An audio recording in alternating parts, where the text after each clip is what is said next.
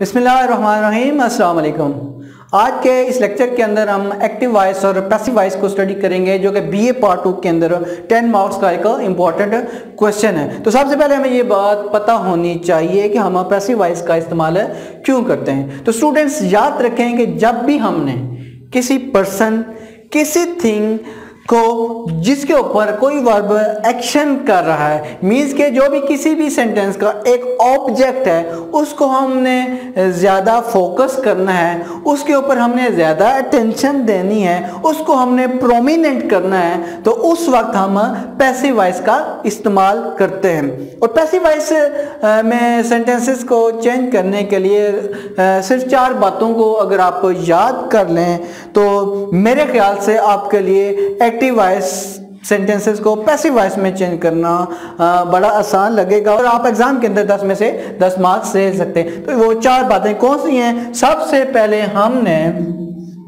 Subject को object से replace करना है। मीन्स के उस सेंटेंस के अंदर जो भी ऑब्जेक्ट है, जिसके ऊपर हमने ज़्यादा अब फोकस करना है, उसको हम सब्जेक्ट की जगह पे ले आएँगे। और उसका जो सब्जेक्ट है, उसको हम ऑब्जेक्ट की जगह पे लेके चले जाएँगे। मीन्स क्या ये एक रिवर्सल होगी। नंबर टू हमने सब्जेक्ट के बाद एक हेल्पिंग वर्ब का इजाफा करना है और हेल्पिंग वर्ब का इस्तेमाल कैसे होगा, उसके लिए हमें ये पता होना चाहिए कि हमारा ये जो एक्टिव वॉइस का सेंटेंस है, ये कौन सा टेंस है? मींस अगर प्रेजेंट इंडेफिनेट टेंस होगा तो हम इज़ एम आर का इजाफा करेंगे। अगर पास इंडेफिनेट का टेंस है तो हम वाज या वर्ब को हेल्पिंग वर्ब के तौर पे इस्तेमाल करेंगे। और जहाँ तक इस बात का तलक है कि हमें कैसे पता चलेगा ये कौन सा टेंस है तो उसके लिए मैंने इससे पहले एक टेंसेस की पहचान के ऊपर उनके इंट्रोडक्शन के ऊपर एक लेक्चर बनाया था। अगर आप उसको देख लें तो आपको आसानी से समझ आ जाएगी कि ये एक्टिव वॉइस का जो सेंटेंस हमारे सामने है, ये कौन सा है। अगर आपको टेंसेस की पहचान आ गई तो आपके लिए पैसिव बनाना मुश्किल नहीं रहेगा। नंबर थ्री पे ऊपर हम आते हैं तो हम यहाँ पे वर्ब की थर्ड फॉर्म इस्तेमाल करते हैं। ये याद रहे कि पैसिव वॉइस के अंदर हमेशा वर्ब की थर्ड फॉर्म का ही इस्तेमाल होगा। वर्ब के बाद हम एक वर्ड बाय का इजाफा करते हैं और उसके बाद वो हमने जो सब्जेक्ट है, उसको लास्ट पे लिख देना। होता है। सेंटेंसेस को एक्टिव वॉइस से पैसिव में चेंज करने के लिए मैंने आपके सामने ये जो चार रूल्स लिखे हैं। अगर हम अब इन रूल्स को अप्लाई करते हुए एक सेंटेंस को एक्टिव सेंटेंस से पैसिव में चेंज करेंगे और आपको आसानी से समझ आ जाएगी कि एक सेंटेंस को एक्टिव से पैसिव में कैसे चेंज किया जाता है। तो हम एग्ज़ाम्पल रखते हैं। अली प्लेस फुट बोल। अगर हम इसको पैसिव में जाते हैं तो पहले रूल के मुताबिक हमने क्या करना है? ऑब्जेक्ट को ऑब्जेक्ट को जो कि हमारे पास ये है, इसको उठा के हमने स्टार्ट में लेके आ जाना है, फुट। बोल। नंबर टू, हमने हेल्पिंग वर्ब का इस्तेमाल करना है, और हेल्पिंग वर्ब के बारे में मैंने आपको बताया है कि अगर प्रेजेंट इंडेफिनेट टेंस होगा। और ये प्रेजेंट डेफिनेट टेंस है। तो इसके अंदर हम इस एम का इजाफा करते हैं। तो यहाँ पे इज़ आएगा। उसके बाद नंबर थ्री के ऊपर वर्ब की थर्ड फॉर्म प्लेट और उसके बाद नंबर फोर पे बाय और सबसे लास्ट पे हमने क्या करना है? इस सब्जेक्ट को उठा के सबसे लास्ट में लिख देना है। तो देखें कितना सिंपल था। Ali plays football. Football is played by Ali students अब मैं कुछ टेंसेस की एग्जांपल से आपको एक्टिव से पैसिव बनाना सिखाऊँगा। तो याद रखने की बात यह है कि ट्वेल्व सेंटेंसेस के अंदर से सिर्फ़ एट टेंसेस ऐसे हैं जिनका एक्टिव से पैसिव बनाया जा सकता है। और इन आठ टेंसेस को मैंने तीन कैटेगरीज में डिवाइड किया है। सबसे पहली कैटेगरी सिंपल टेंस की है, जबकि दूसरी कैटेगरी कंटिन्यूस टेंस की है, और थर्ड कैटेगरी परफेक्ट टेंस की है। आप ये भी कह सकते हैं कि ये तीन ग्रुप्स हैं। तो सबसे वाला, पहले वाला ग्रुप जो सिंपल टेंस का है, इसके अंदर प्रेजेंट पास और फ्यूचर के टेंस हैं। और ये बात आप पल्ले बाँध लें कि जो हमारे पास पहला ग्रुप है, उसके अंदर जो हेल्पिंग वर्ब है, वो is am are was were या बी इस्तेमाल किया जाएगा। तो जब भी आप एक्टिव का कोई टेंस देखें जिसके अंदर फ़र्स्ट फॉर्म यूज़ हुई है जिसके अंदर सेकंड फॉर्म यूज़ हुई है जिसके साथ सिंपल विल या शेल लगा हुआ है तो आप समझ जाएँगे इस आ, का तलक जो है इस फ़र्स्ट ग्रुप के साथ है।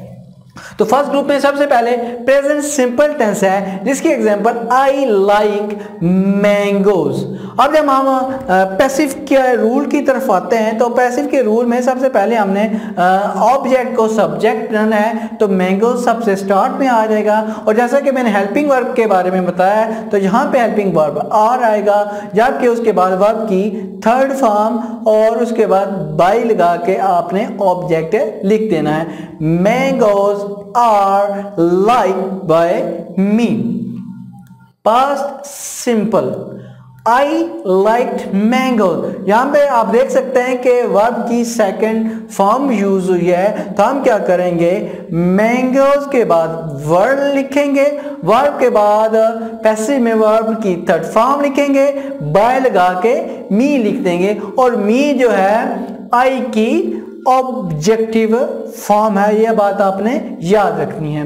ये नहीं कि आप मेगा व लाइक बाय आई आप आई नहीं लिखेंगे, आप आई की ऑब्जेक्टिव जो हालत है, आप वो लिखेंगे जो कि मी है। जबकि फ्यूचर सिंपल टेंस के अंदर I shall like mangoes mangoes will be मैंने बताया था कि फ्यूचर सिंपल के अंदर आप विल या शेल के बाद बी का इजाफा करेंगे, उसके बाद आपकी थर्ड फॉर्म लगाएँगे, और बाय के बाद आप ऑब्जेक्ट लिखेंगे। Mangoes will be like by me चले अब हम दूसरे ग्रुप की तरफ़ चलते हैं जो कि कंटिन्यूस टेंस का ग्रुप है और इसके अंदर हमने दो टेंस प्रेजेंट कंटिन्यूस टेंस और पास्ट कंटिन्यूस टेंस लिखा है। प्रेजेंट कंटिन्यूस टेंस के एग्जांपल में सारा इज़ वॉशिंग क्लोथ्स और हम जब भी इस सेकंड ग्रुप के एक्टिव सेंटेंसेस uh, को पैसिव बनाएँगे तो हम क्या करेंगे? हेल्पिंग वर्ब में इज़ या वाज जो भी होगा उसके बाद बीइंग का इजाफा करेंगे। मीन इस ग्रुप के अंदर बीइंग का इजाफा होगा। सारा इज़ वॉशिंग क्लोथिस जब क्लोथिस एज अ सब्जेक्ट आता है तो क्लोथिस क्लोथिस और और इसके बाद बीइंग वर्ब की third form washed by Sarah. Sarah is washing clothes, changes into clothes are being washed by Sarah. उसके बाद past continuous कि एग्ज़ाम्पल में सारा वॉल वॉशिंग क्लॉथ देखिए, मैंने ऊपर वाली एग्ज़ाम्पल को ही नीचे लिखा है और सिर्फ़ इसका क्या किया है? टेंस चेंज किया है। सारा वॉज़ वॉशिंग क्लॉथ जब हम इसको चेंज करते हैं तो this tense changes into cloth were being washed by Sarah. और इसके पैसिव टेंस के अंदर हमने क्या किया? कि वर्ड के बाद बीइंग का इजाफा कर दिया। जबकि लास्ट ग्रुप में हमारे पास सारे परफेक्ट के टेंस हैं तो परफेक्ट के टेंसेस में प्रेजेंट परफेक्ट पास्ट परफेक्ट और फ्यूचर परफेक्ट ये बात आप पल्ले बाँध रहे हैं कि परफेक्ट के टेंस में चूँकि पहले हैज़ या have had will have shall have इस्तेमाल होता है तो हमने सिर्फ़ इसके अंदर एक वर्ड बीन का इजाफा करना है। इसके हेल्पिंग वर्ड में हमने सिर्फ़ बीन का इजाफा करना है। तो पहले एग्जांपल में प्रेजेंट परफेक्ट की जो पहली एग्जांपल है, इसमें present perfect Usman has bought a new horse ये वो उस्मान है जो अर्तुगल गाजी का बेटा है। Usman has bought a new horse और a new horse has been bought by Usman Usman has bought a new car, changes into a new horse has been bought by Usman. Past indefinite की example में Usman had bought a new horse इस example में जब हम, अ new horse जो कि object है, इसको जब हम प्रोमिनेंट करने लगे हैं तो हमने क्या किया कि इसको सब्जेक्ट की जगह पे ले गए। अ न्यू हॉर्स हैड ही हैड आपने याद रखना है कि ये यहाँ से ही यहाँ पे आएगा आपने सिर्फ़ उसके अंदर बीन का इजाफा करना है Usman had bought a new horse. Changes into a new horse had been bought by Usman.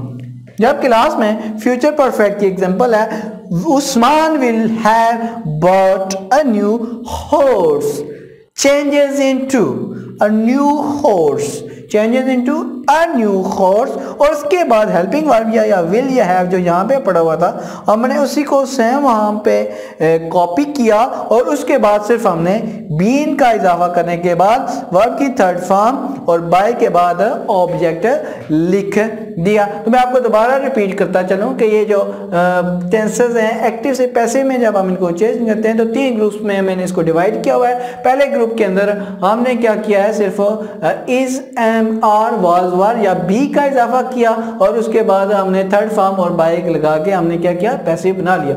जबकि कंटिन्यूस के जो भी टेंसेज आपके पास होंगे, उसके अंदर आपने क्या करना है कि इज़ या वाज के बाद आपने बीइंग का इजाफा कर देना है और परफेक्ट के टेंसेस में हैज़ हैव हैड या विल हैव के बाद आपने बीन का इजाफा कर देना है। तो सिंपल आप ये कह सकते हैं कि अगर वो यहाँ पे टेंस में कोई हेल्पिंग वर्ब इस्तेमाल नहीं किया गया तो आप क्या करेंगे? ये वाले is am are was verb या बी वाला जो हेल्पिंग वर्ब है वो इस्तेमाल करेंगे। अगर यहाँ पे आ, वेल्पिंग वर्ब दिया हुआ है टेंस के अंदर, उसके साथ आई एन जी फॉर्म लगी हुई है। तो हमने क्या करना है? बीइंग वाला वर्ड इसके अंदर शामिल कर लेना है। आप ये भी कह सकते हैं, ये आई एन जी उठा के हमने यहाँ इसके साथ बी के साथ लगा दिया। जबकि लास्ट में अगर हमारे एक्टिव के टेंसेस के अंदर हैज़ हैव या हैड लिखा हुआ हमें नज़र आया तो हम क्या करेंगे? हम इस हैज़ हैड या हैव के बाद सिर्फ़ बीन का इजाफा करेंगे।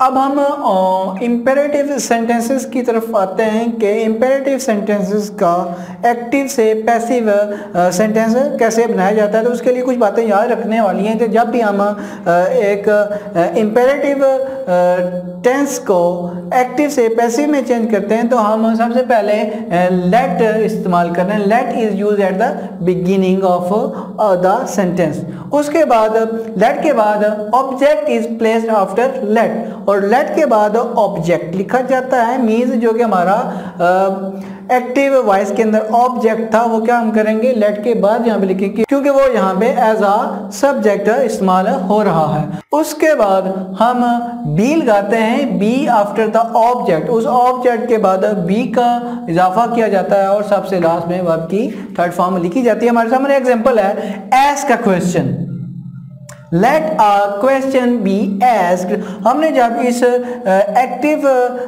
सेंटेंस को, जो कि एक इम्पेरेटिव सेंटेंस था उसको जब हमने चेंज किया पैसिव वॉइस में तो हमने क्या किया? सबसे पहले हमने लेट लिखा। उसके बाद हमने ऑब्जेक्ट अ क्वेश्चन लिखा। क्वेश्चन के बाद हमने बी को लिखा। और सबसे लास्ट में हमने बात की तीसरी फॉर्म का इस्तेमाल किया। तो द सेंटेंस एज का question changes into let a question be asked.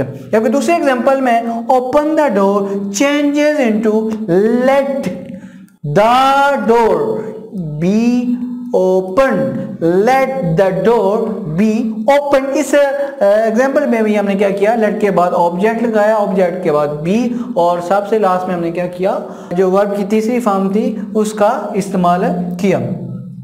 अब इसके अंदर एक नेगेटिव सेंटेंस की भी एग्जांपल ले लेते हैं इंपेरेटिव सेंटेंस के अंदर कि do not open the door के दरवाजे को ना खोलो।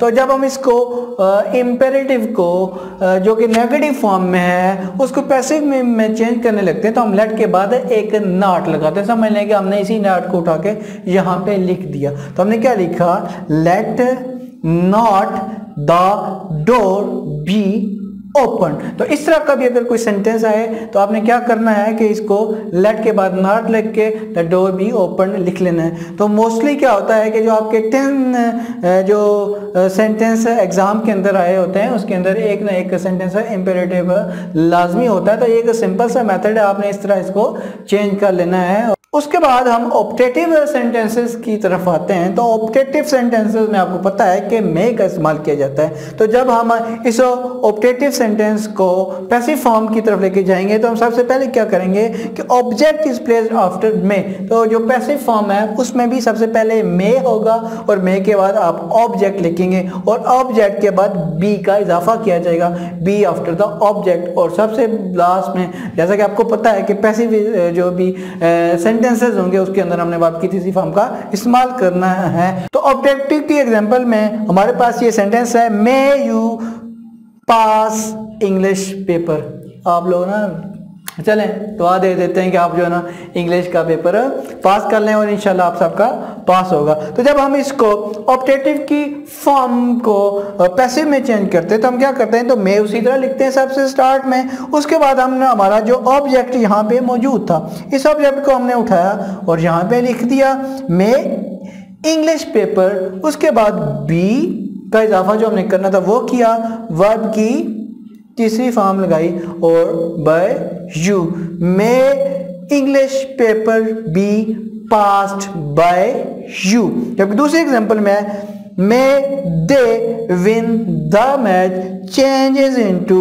may the match be won by them जहाँ तक modal verbs can could may might should या मस्ट की बात है तो इनको जब हम एक्टिव वॉइस से पैसिव वॉइस में चेंज करते हैं तो उसका स्ट्रक्चर कुछ इस तरह का होगा कि हम बी का इस्तेमाल करते हैं, जो भी मॉडल वर्ब हमारे पास उस सेंटेंस के अंदर मौजूद होगा, हम उसके बाद बी का इजाफा कर देंगे। For example we can solve the problem तो हमने क्या किया तो यहाँ पे सबसे पहले तो हमने ऑब्जेक्ट लिखा स्टार्ट में as a subject the problem can यहाँ पे भी कैन था तो कैन हमने लिखा और कैन के बाद हमने एक बी का इजाफा कर दिया और वर्ब की थर्ड फॉर्म और बाय के बाद हमने फिर जो है वो ऑब्जेक्ट लिखा।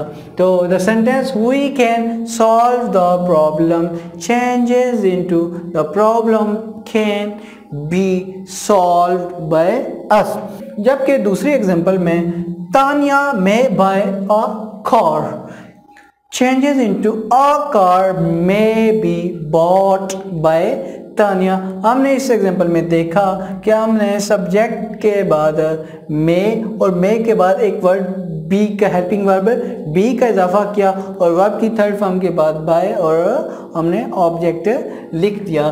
Tania may buy a car changes into a car may be bought by Tania.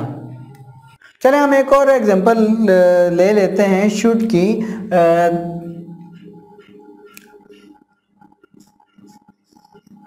Farhana should serve the guests अगर हम इसको चेंज करेंगे तो वो कुछ इस तरह का सेंटेंस बनेगा आ, क्योंकि सबसे पहले हमारे पास ये द गेस्ट जो था वो ऑब्जेक्ट था। तो इस ऑब्जेक्ट को जब हम यहाँ पे स्टार्ट में लिखेंगे द गेस्ट्स द गेस्ट के बाद हमारे पास पहले ही शूट था। द गेस्ट शुड उसके बाद हमने कहा था कि जब भी मॉडल वर्ब होगा तो उसके पैसे में हम क्या करेंगे? मॉडल वर्ब के बाद बी का इजाफा करेंगे। बी के बाद हम क्या करेंगे? इस वर्ब की तीसरी फॉर्म लिखेंगे। सर्व्ड बाय फरहाना ठीक है जी। तो ये मॉडल वर्ब का इस्तेमाल ऐसे है कि जब भी एक एक्टिव सेंटेंस के अंदर मॉडल वर्ब दिया गया तो आपके लिए ज़रा आसान हो जाएगा। आपने ऐसे करना है कि जब भी उसको पैसे में चेंज करेंगे तो आपने बाकी प्रोसीजर उसी तरह रखना है। लेकिन क्या करना है? May should can could might के बाद आपने क्या करना है? बी का इजाफा कर देना है। In the last we will talk about W H question के एक्टिव वाइस के अंदर अगर हमारे पास डब्ल्यू एच वाले क्वेश्चन आ जाएँ तो उनको हम पैसिव में कैसे चेंज करेंगे? लास्ट टाइम भी ये जो एडीएस का पेपर था, उसमें भी एक डब्ल्यू क्वेश्चन आया हुआ था। तो स्पेशल जो बात याद रखने वाली है, मैं कुछ एग्जांपल आपके सामने रख रहा हूँ। तो जो question W H O who के साथ स्टार्ट होगा। For example who needs a book जो भी क्वेश्चन हु के साथ स्टार्ट होगा तो आपने सबसे पहले क्या करना है? बाय होम कर देना है। इस हु को बाय होम करना है। उसके बाद आपने हेल्पिंग वर्ब इस्तेमाल करना है। हेल्पिंग वर्ब के बाद आपने ये वाला ऑब्जेक्ट लिख देना है a book needed by whom is a book needed आपने क्या करना है? डब्ल्यू एच को बाय होम में चेंज करना है? उसके बाद हेल्पिंग वर्ब लगाना है, क्योंकि आपको पता है कि क्वेश्चन में डब्ल्यू एच के बाद आपको एक हेल्पिंग वर्ब लगाना होता है। उसके बाद आपने ऑब्जेक्ट को लिखा और वर्ब की थर्ड फॉर्म के बाद आपने मार्क ऑफ़ इंटरोगेशन लिखा। दूसरी एग्जांपल हम वट की लेते हैं? वट आर यू रीडिंग जब हम इसको पैसिव में चेंज करते हैं तो हम इसी तरह वर्ड लिखते हैं। वर्ड के बाद हेल्पिंग वर्ब और क्योंकि ये सेंटेंस जो है कंटिन्यूस का टेंस था तो कंटिन्यूस में हम क्या करते होते हैं कि इज़ एम आर के बाद बीइंग लगा देते हैं। तो हमने क्या किया? What is being what is being read by you जबकि तीसरे एग्ज़ाम्पल में when did Ali reach Lahore. तो हमने क्या किया? वैन को यहाँ पे लिखा। उसके बाद हमने हेल्पिंग वर्ब लिखा। और हेल्पिंग वर्ब के बाद हमने क्या किया? लाहौर जो कि ऑब्जेक्ट था, वो लिखा। और आपकी तीसरी फॉर्म के बाद? बाय अली, जो कि पहले सब्जेक्ट था। तो the sentence when did Ali reach इसमें सबसे पहला जो question W H O who वाला है, उसमें सिर्फ़ आपने बाय होम करना है, बाकी में आपने उसी तरह जो भी डब्ल्यू एच क्वेश्चन होगा, वो स्टार्ट में लिखेंगे उसके बाद उस सेंटेंस का जो हेल्पिंग वर्ब है, वो वाला लिखेंगे। अगर कोई भी कंटिन्यूस के टेंस हैं तो पैसे में आपको पता है कि आपने बींग का इस्तेमाल करना है। अगर हैज़ या हैव है तो फिर हैज़ या हैड बीन का इस्तेमाल करना है। मैं उम्मीद करता हूँ कि आपको ये एक्टिव पैसिव की अच्छे तरीके से समझ आ गई होगी। तो आप इसकी थोड़ी सी प्रैक्टिस एक दफ़ा कर लें तो इन आप जो आने वाला एग्ज़ाम आपका आ रहा है ट्वेंटी सिक्स को, उसमें आप अच्छे तरीके से परफॉर्म कर सकेंगे। अल्लाह ताला आपकी मदद करे। अल्लाह निगेबान